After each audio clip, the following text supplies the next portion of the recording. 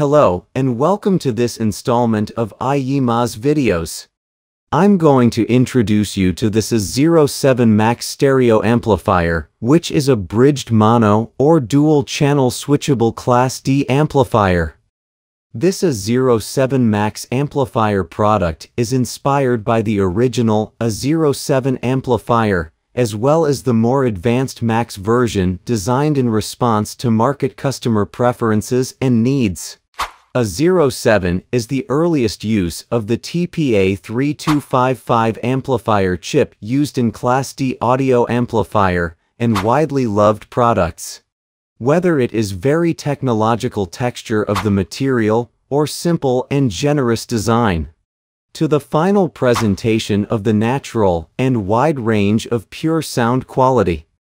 That's why the A07 Max is also a product well worth trying. The Aiyima A07 Max is a carefully crafted product, both in terms of appearance and internal construction, as well as in terms of sound quality, which is unique, so let's take a closer look.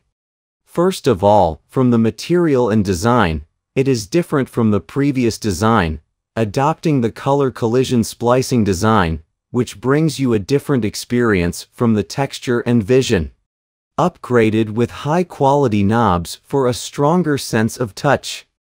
In the cooling of the equipment spent a lot of thought, in the bottom and two sides to add cooling holes, convection to achieve a good cooling effect. At the same time can play the purpose of dust-proof. There is also a subtle point is the large terminal at the back of the A07 Max panel, using a higher-end crystal terminal.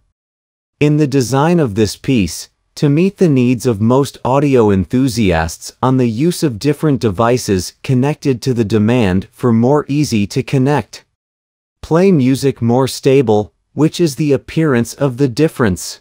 In the last video, we talked about the A07 Max using professional audio components.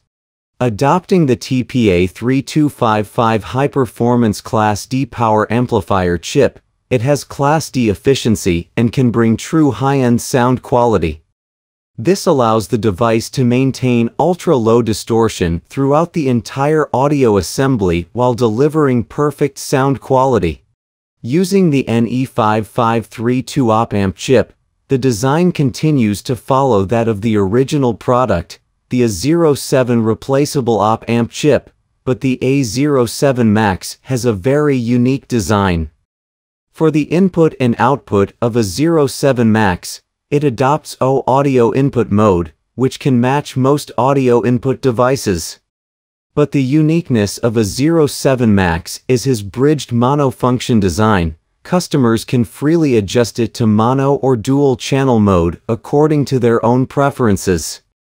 You can use the toggle switch hidden at the bottom to switch between different modes. The operation is very simple, as long as a toothpick can do it. It fits well in any home audio setup scenario. Regarding the interchangeable op-amp chips mentioned above, I need to mention a question that a customer asked earlier. If running two amplifiers in mono mode, which op-amp chip controls the right speaker output and which controls the left speaker output? Or do I need to swap all two? It's very simple, just swap U7 in mono mode and swap both in dual channel mode. Of course, in the process of use, there are still a lot of details need to pay attention to. Such as we need to switch the mono mode before using the mono channel playback, and the correct connection is very important. So we need to correspond to the correct mode to connect to use. This is the connection diagram in bridge mode. Here, we need to talk about the output power of the A07 Max. Above we said that the A07 Max uses the TPA3255 amplifier chip, differential analog input 10% THD plus N when the total output power, dual channel mode can reach 315 watts at 4 ohm. Mono mode 600 watts at 2 ohm, but in the actual use of the amplifier system, the output power is related to the power supply voltage, load, THD plus N, efficiency.